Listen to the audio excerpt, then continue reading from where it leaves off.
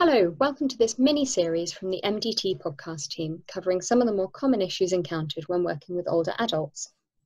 Each session is structured around a clinical question, and our aim is to help you approach the issue thinking like a geriatrician.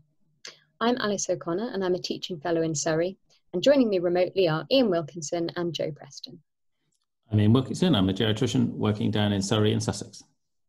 Hi, I'm Joe, and I am a geriatrician in London and this session is all about those patients who are on a million drugs.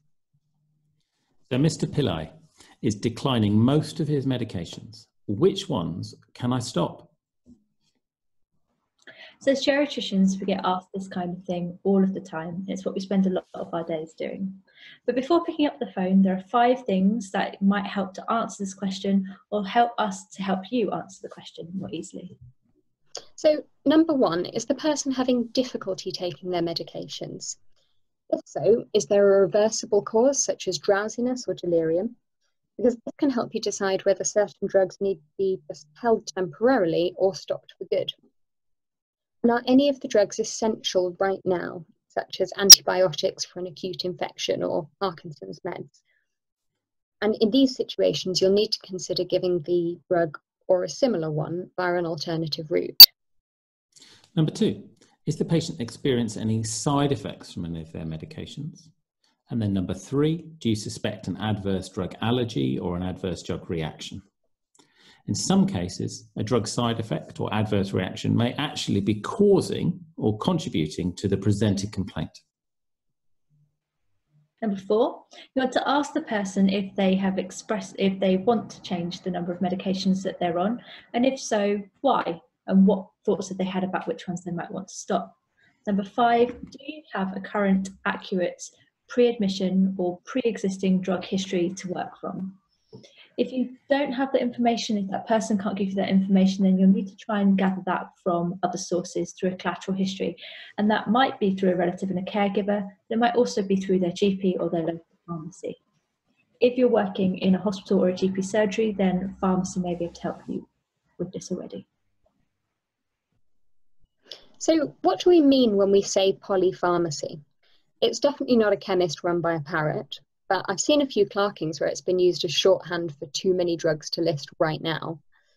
You could say that it means being on multiple medications, but how many? Is that four? Is that 17? What's too many medications?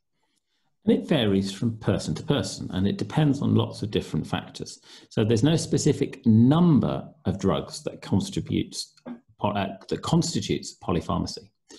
Older adults are likely to be on several medications, so it can be helpful to think of this in terms of appropriate and inappropriate polypharmacy. So, an example of appropriate polypharmacy might be someone who's taken several drugs following a heart attack and having developed heart failure as a consequence. This person might appropriately be on seven or eight medications that they need to be on right now. Whereas somebody who is taking multiple medications that have similar actions or interactions is more likely to have something we call inappropriate polypharmacy. So, for example, if someone was on tamsulosin for prostate problems and doxazosin for hypertension, um, both are alpha blockers. So, they're both going to be increasing the risk of postural hypotension and potentially causing problems. Polypharmacy becomes more problematic with increasing age due to physiological changes which affect the way the body processes drugs. We're not going to go into a huge amount of detail on this now, but feel free to pause and take a closer look at the table on this slide. The changes in physiology can be broadly div divided into those affecting absorption, distribution, metabolism, and elimination of drugs by the body. The best place to start your assessment is as ever with the patient. Uh, so, if at all possible, start there. Find out what their medication adherence is like normally. Do they tend to miss the odd dose? Do they stick to the same timings? Do they take their medications with food, with water, with whatever? Do they find any of their drugs difficult to take? Devices such as insulin pens or inhalers can sometimes be problematic for older people. And sometimes people just also have problems swallowing their tablets.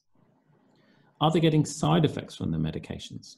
These aren't always directly related to the action of the drug. So, for example, esophageal irritation can be caused by uh, uh, and also by bisphosphonates uh, if they're not taken correctly. Involving patients in shared decision making is really important. Um, and it also means that you're more likely to come up with a plan that they're actually able to and want to stick to in the end. Check that they understand what each medication that they're on is for.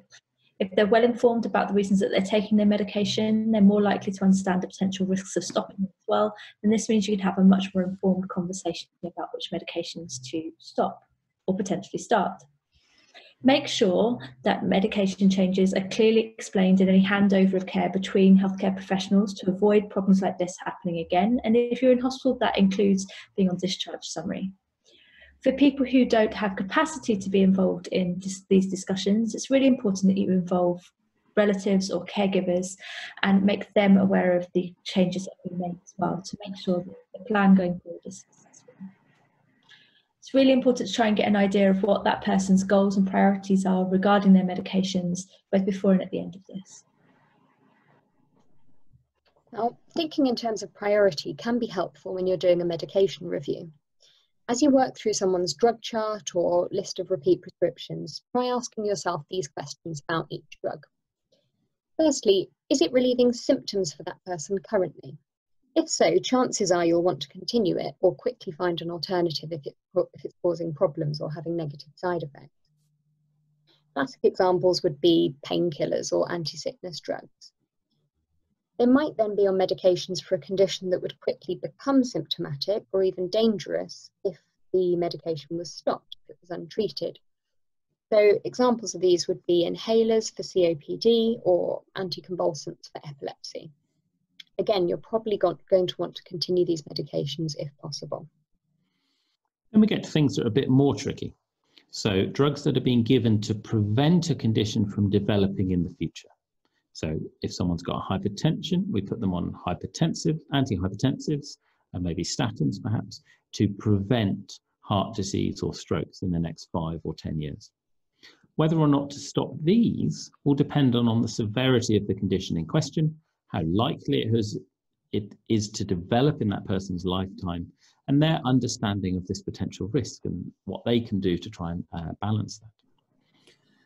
Next, you come to drugs that are a bit easier, those that are not evidence based or no longer necessary. These can usually be stopped if you're doing a polypharmacy review. So, for example, um, medications like aspirin for primary prevention of ischemic heart disease or cod liver oil, um, or some herbal supplements to try and improve joint pain don't have huge amounts of evidence behind them, so can be stopped quite safely.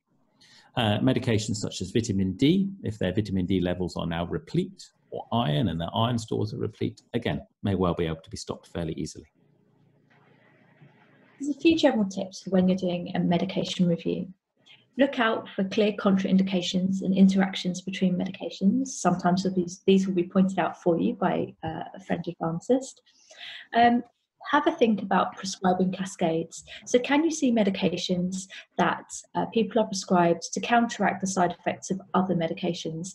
These are quite simply uh, groups of medications that, if you're able to stop the primary medication, you may be able to stop three or four other medications as well. Don't be afraid to question other people's decision making with regard to prescribing. They may be wrong. They may have been right at the time and the situation has changed.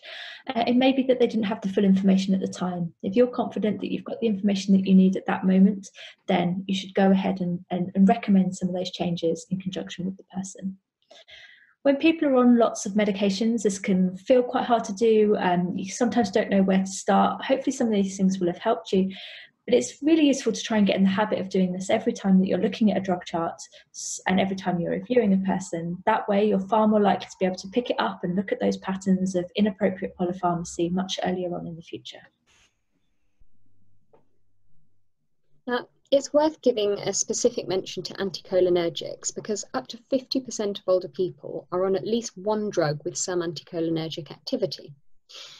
Side effects of these drugs include really common things like constipation, urinary retention, tachycardia, confusion, and drowsiness.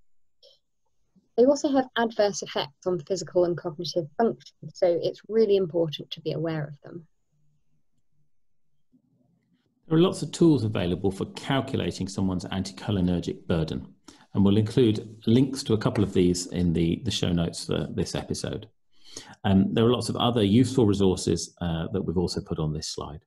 And remember, you can always talk to your local pharmacist uh, if you or a patient has concerns about the polypharmacy, um, and they're an excellent source of really good information. That's all for this session, but we've also done a full-length podcast episode on polypharmacy, which you can find on our website at www.thehearingaidpodcasts.org.uk, and it's Series 2, Episode 5. The MDTea and the other learning resources available on our website are free to use and they cover a wide range of topics concerning older people, from pressure sores to poverty. So you can check out the rest of the mini series if you want some more bite sized learning. We hope that this episode of Help has been helpful. Bye. Bye.